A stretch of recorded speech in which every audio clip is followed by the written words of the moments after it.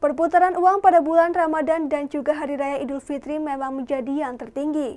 Untuk mengantisipasi kebutuhan transaksi selama Ramadan dan kebutuhan Hari Raya Idul Fitri, Kantor Perwakilan Bank Indonesia di Purwokerto telah menyiapkan kebutuhan uang tunai atau outflow sebesar 3,3 triliun rupiah.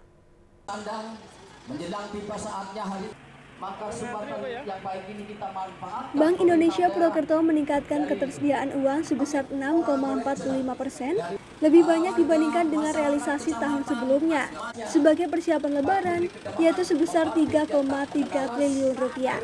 Meski begitu, tahun ini tidak akan ada antrian warga yang ingin menukar uang pecahan di mobil Bank Indonesia yang biasa menyebar di tempat-tempat umum. Hal ini karena adanya kebijakan dari Bank Indonesia untuk tidak menciptakan kerumunan yang berpotensi meningkatkan penyebaran corona. Bank Indonesia juga senantiasa menghimbau masyarakatnya untuk menggunakan transaksi pembayaran secara non-tunai melalui digital banking, mobile banking, uang elektronik, dan QR kode pembayaran dengan standar KRIS atau QR kode Indonesian Standard. Layanan penukaran uang kepada masyarakat umum yang biasanya disediakan melalui penyediaan penukaran di lokasi umum seperti kas keliling di pasar murah, dan layanan penukaran langsung ke masyarakat bersama dengan perbankan.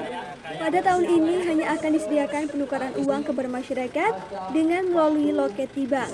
Untuk itu di Kabupaten Banjarnegara penukaran uang dilakukan di enam kantor cabang bank mulai dari 29 April sampai dengan 20 Mei 2020. Penukaran uang kemarin kita sudah rilis sesuai juga guidance dari pusat untuk sementara kita tidak melayani langsung dari ke masyarakat. Mm -hmm. Jadi masyarakat kalau menukarkan kita kerjasama dengan semua cabang bank, masyarakat langsung bisa berhubungan dengan bank-bank yang ada di kantor cabang. Kita supply kebutuhan uang pecahan pecahan kecil masyarakat itu dengan bank-bank. Kita langsung BI berhubungan dengan bank-bank untuk kerjasama komunikasi dengan bank-bank untuk bank-bank sudah menyiapkan kalau masyarakat menukarkan. Jadi BI sudah tahun ini sementara tidak melakukan penukaran uang langsung. Dari Banjarnegara, Jati Seji, Banyumas TV melaporkan. Banjarnegara, Galeri, dan Kuliner Banjarnegara. Dalam terselenggaranya Pasar Ramadan.